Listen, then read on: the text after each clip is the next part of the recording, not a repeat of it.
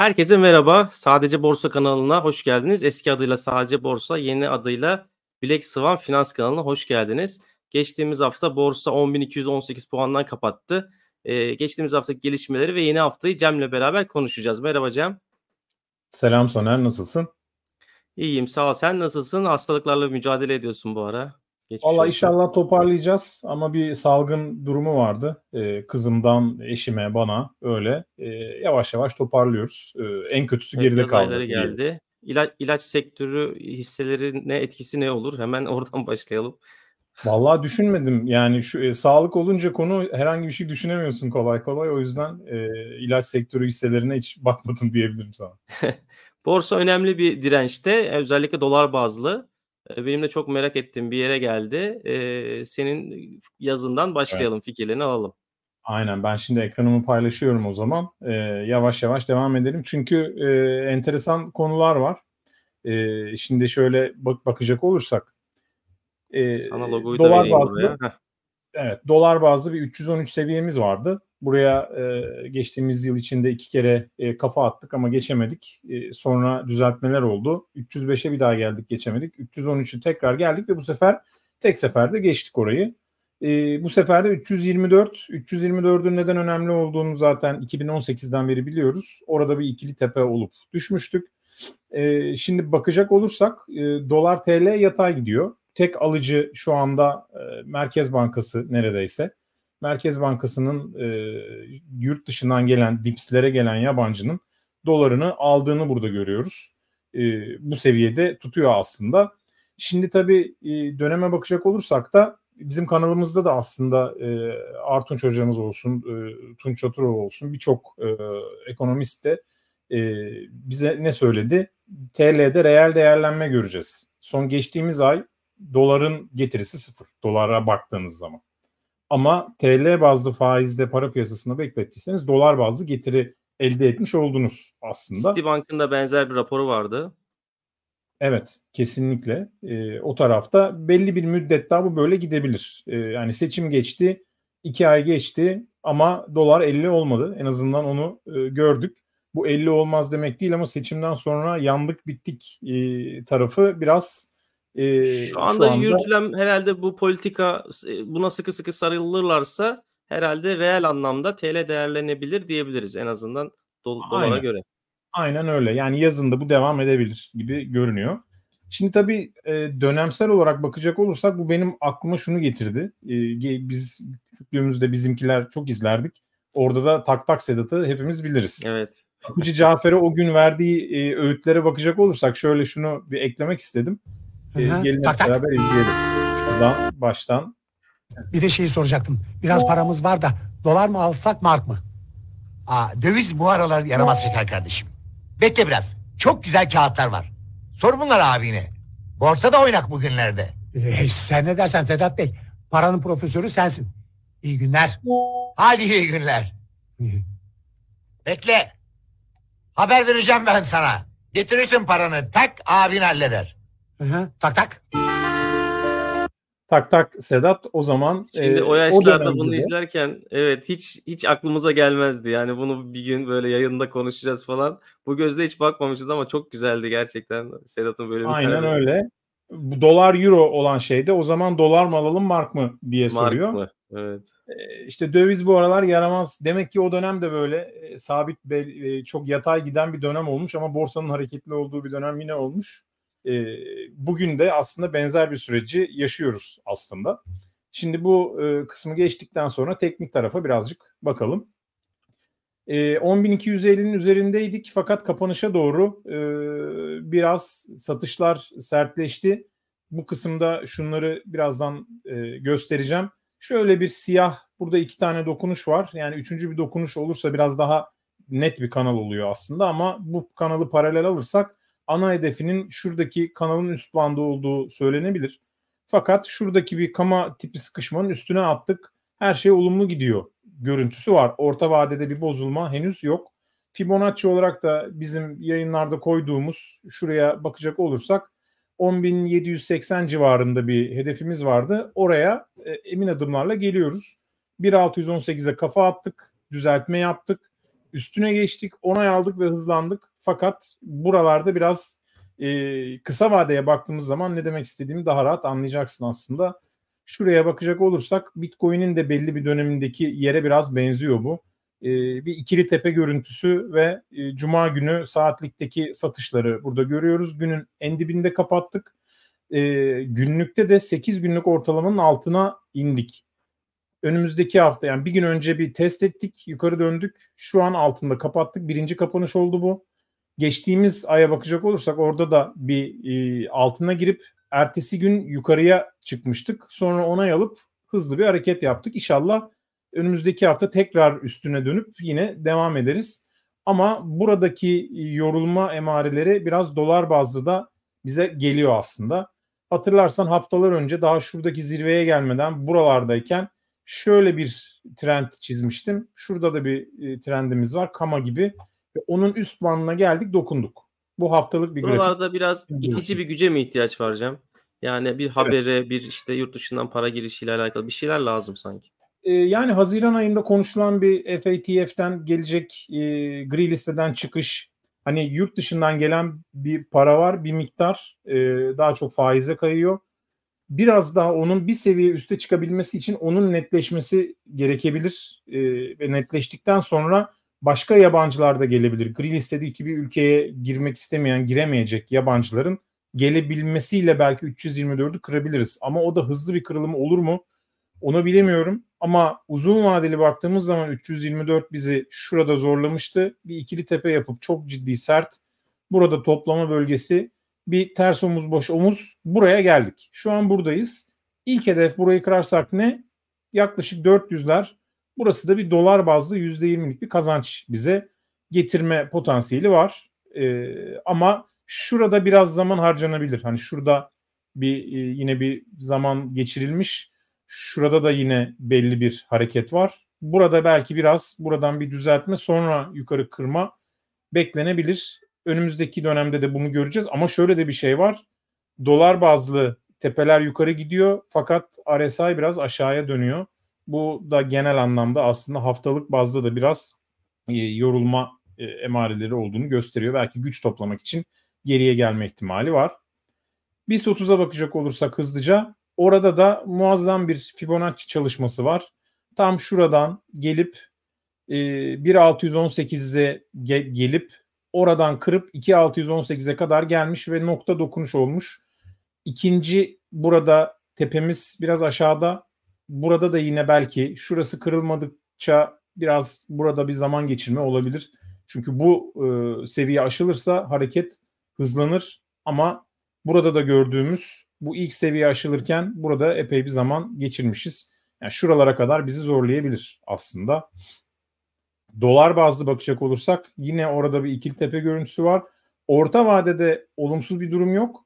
Ama kısa vadede şurada belki bu trende gelip buradan güç toplamak isteyebilir. Ee, ama kısa vadede burada da bir yorulma emarelerini gördüğümü söyleyebilirim.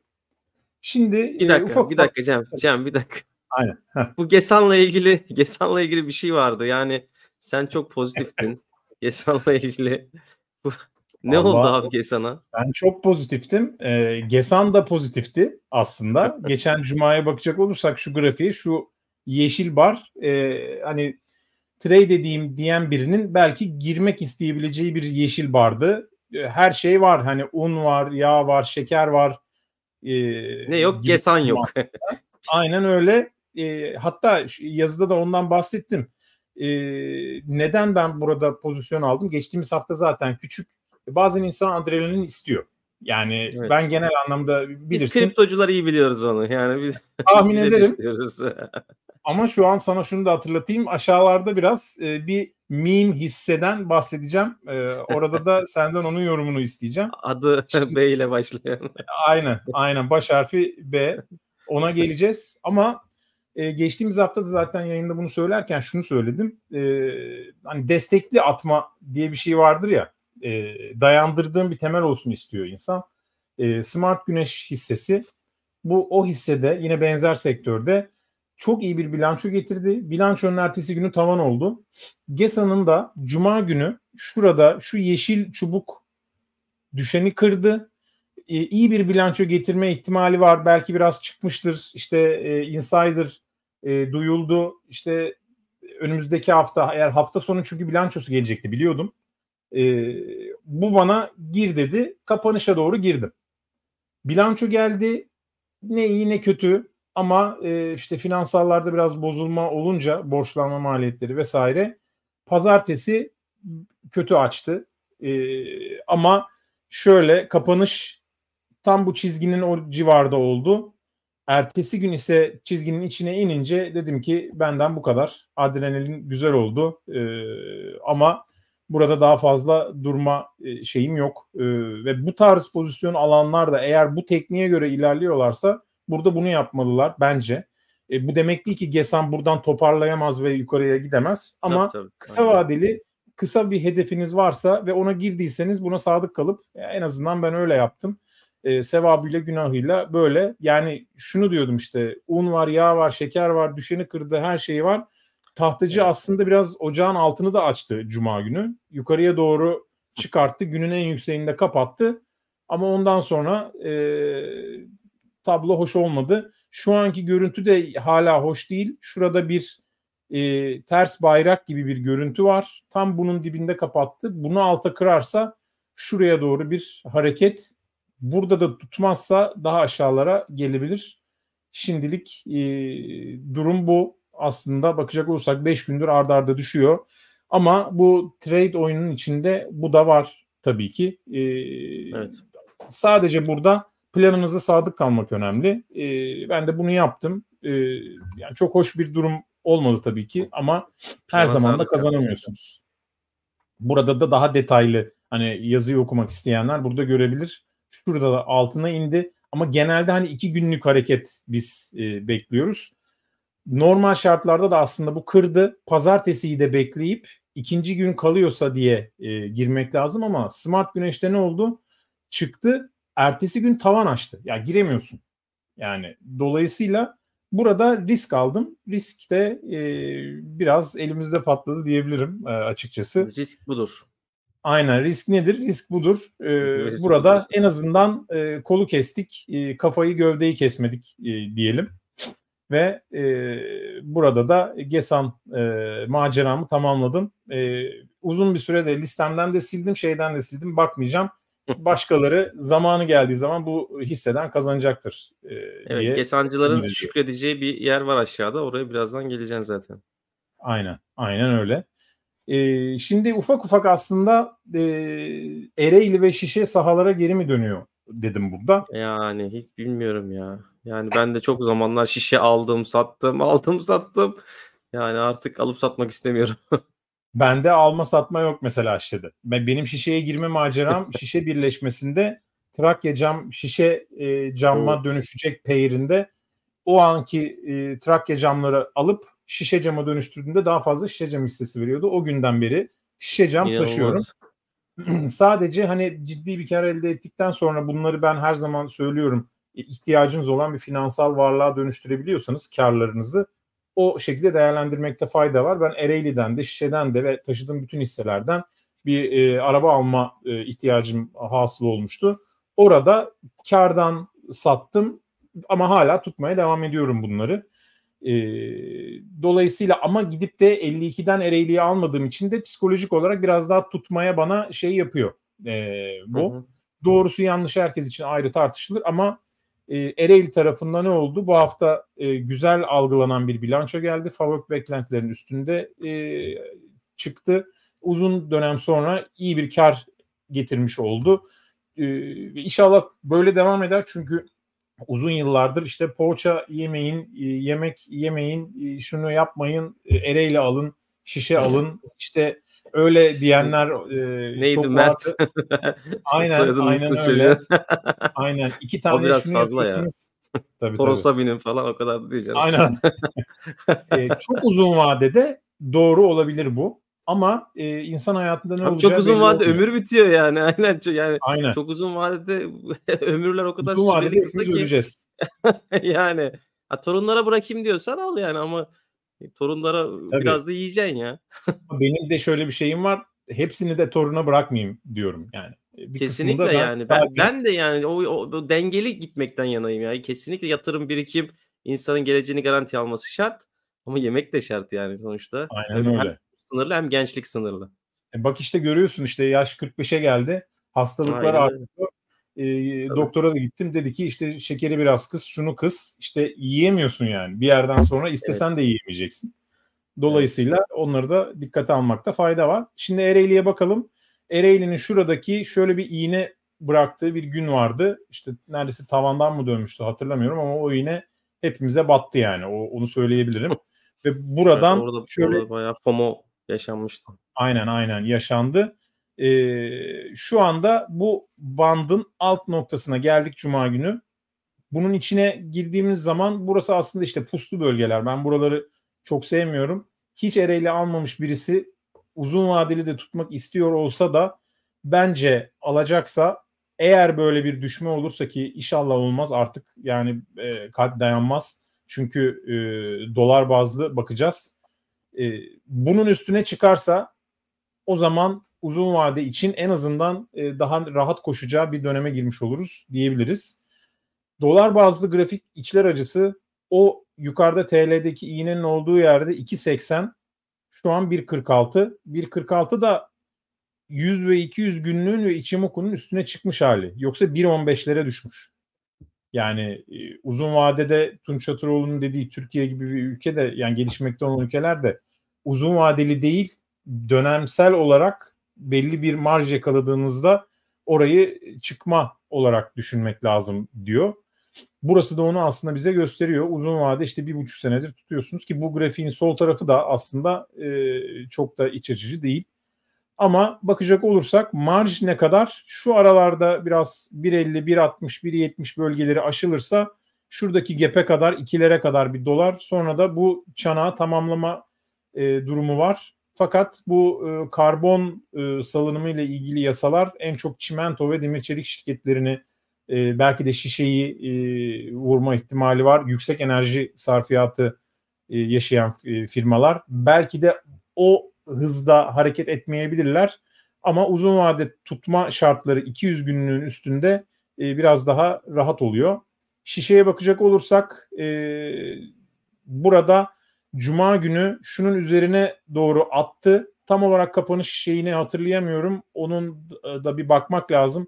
Çünkü orada e, işte Gesan'ı hatırlıyoruz. Cuma günü yukarı çıkmıştı. Fakat kapanış pazartesi günü altına inip sert bir hareket yaptı. Şöyle sadece hızlıca şuradan bir şişenin kapanıştaki grafiğine bir bakalım. Sadece onun altına geldi mi diye. Onun altında değilse üstünde kalmaya da devam etmesi. Bak kapanışı görüyor musun? Hı hı hı. Yani şurada üstüne çıktı diye aldın. 60 evet. Geldi ve tam noktasında kapattı. Yani şu anda haftaya ne olacak? Evet. Böyle mi gideceğiz, böyle mi gideceğiz belli değil. Dolayısıyla buna da baktığımız iyi olmuş. Tam üstünde kapatmış. Gesan etkisi burada inşallah yaşanmaz. Ama ana e, direnç şurası. Şu düşen bir kanal vardı. Onu kırmak üzere. Buna bakacağız. İyi olan şey şu siyah yükselen kanalın içine girdi. Şurayı belki bir e, ayı e, tuzağı olarak bırakmış olabilir.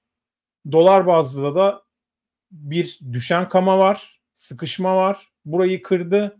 Burada da Ereğli'ye benzer. O da 2.60 mıymış? Ne? Evet 2.62. Evet. Bir, bir kaç şu anda yaklaşık 1.60 civarı.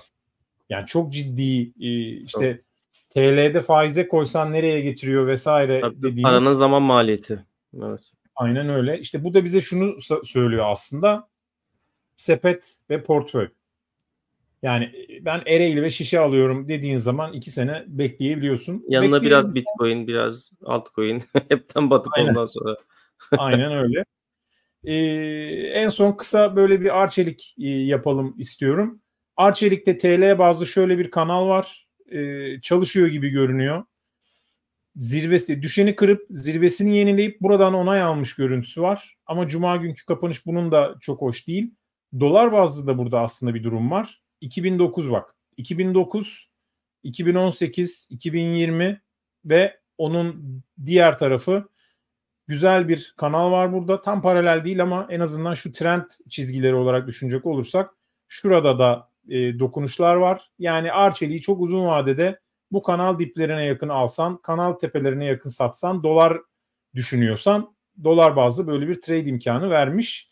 Yakın vadeye bakacak olursak e, burada bir dolar bazlı düşeni kırıyor. Yani çünkü TL'ye baktığın zaman zirveyi geçti. Tamam şimdi hedef ne şurası mı burası mı derken bu e, aslında belki Arçelik Avrupa daha yoğun dünyaya da açılıyor ama belki Euro bazlı da bakmak e, doğru olabilir burada. Burada yine şurası da geçilmiş. Dolar bazlı belki bir işte 6,5 sonra e, 7,5 denenebilir. Ve geldik e, senin uzmanlık alanın diyeyim. E, evet. Beşiktaş.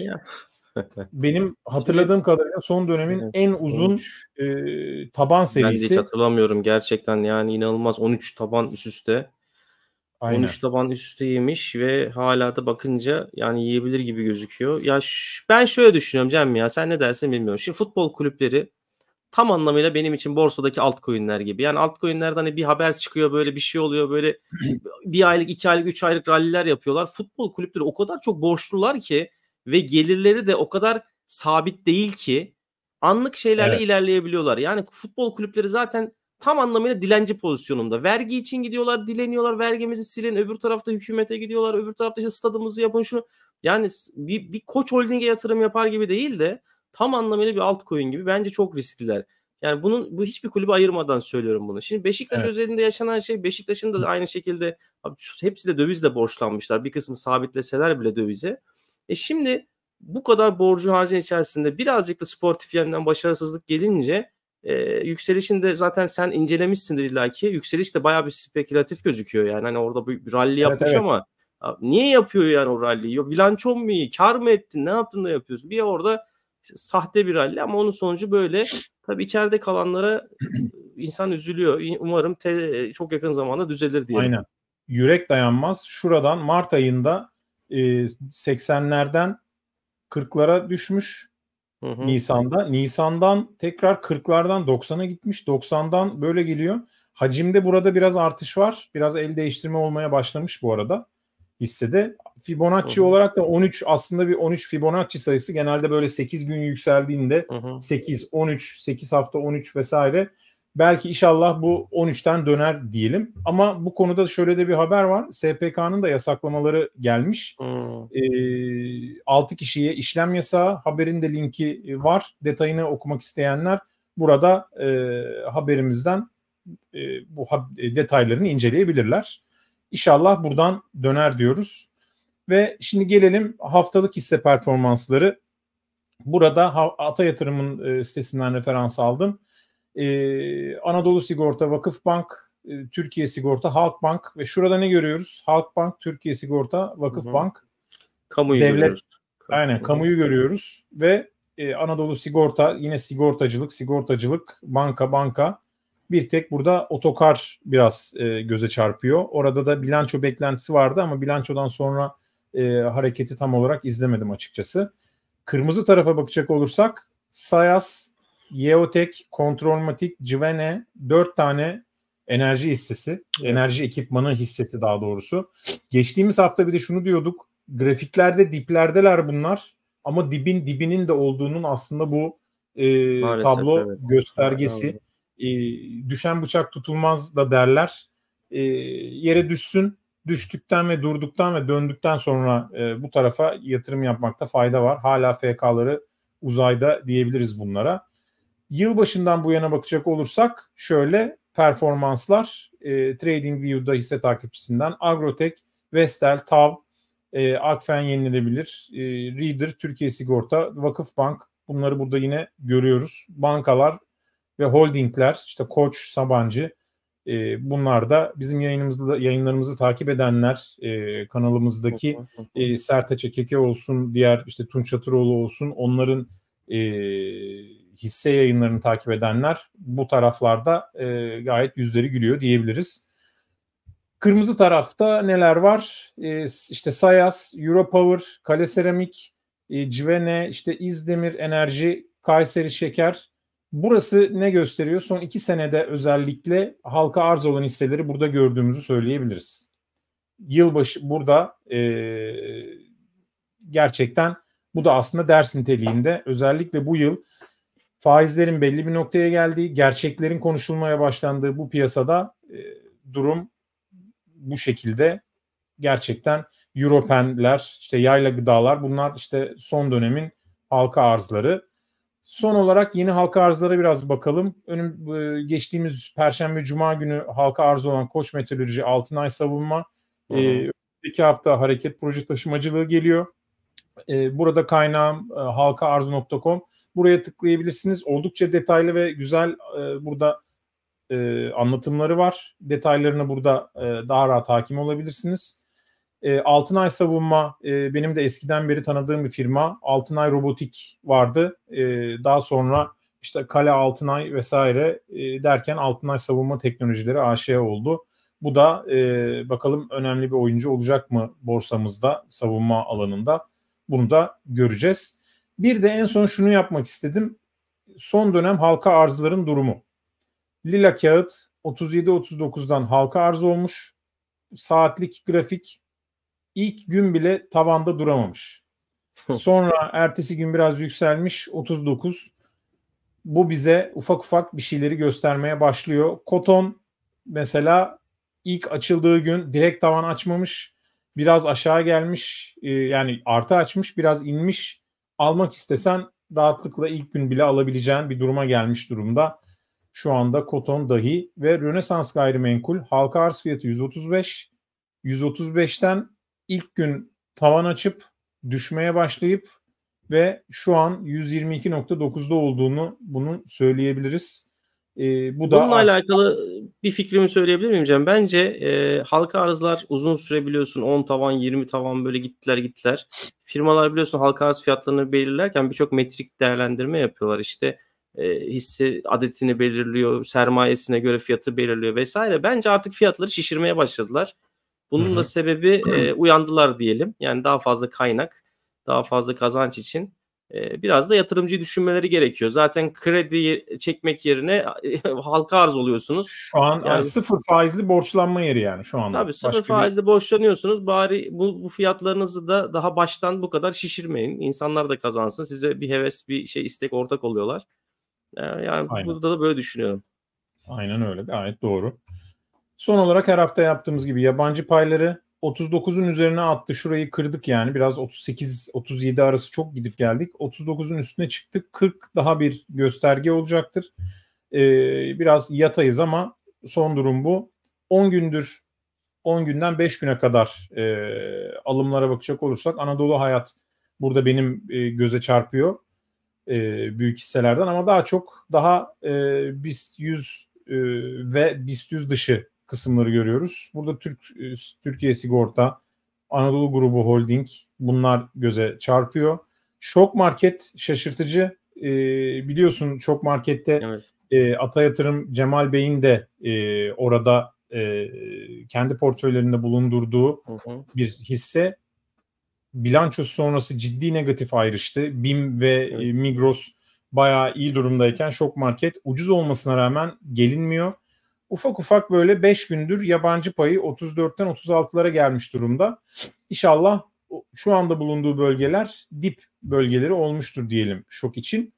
Ve yaklaşık 20 gündür kesintisiz yabancının sattığı bir hisse vardı. En tepede onu görüyorduk. Migros idi. Hı hı. Migros bu listede yok artık.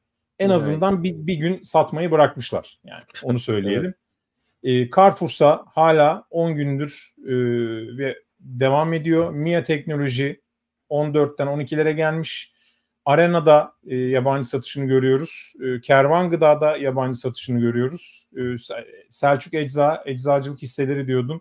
E, mesela hı hı. onun durumu bu. En son da bu hastalıklarla ve senin yaz geldi. Söylediğin, evet o yüzden. Aynen. Bak Şöyle bakalım. Selçuk Ecza da nispeten kendi çapında aslında biraz düzeltme durumunda. Yani genelde tabii nasıl e, şey yapar bilmiyorum ama e, mesela geçtiğimiz sene yazın Mayıs'tan Eylül'e kadar yükselmiş. Hani e, düşünecek olsam As- yazın evet, daha az yazın almayız. Insanlar. Normalde aslında öyle oluyordu ama demek ters bırakmış. Covid öncesi aynen. de ben hep o şekilde düşünürdüm sağlık sektörünü. Aynen, aynen öyle. Dolayısıyla e, raporun tamamını da burada detaylı detaylı e, bizi izleyenler, okuyanlar inceleyebilir. Hisse hisse çünkü burada epey detay barındırıyor. Hı hı. İstediğiniz hisseye buradan bakabilirsiniz yabancı durumuna son dönemde e, ve alma satma veya tutma kararınızda eğer etkisi olacaksa bunları da incelemek istiyorsanız inceleyebilirsiniz. Evet.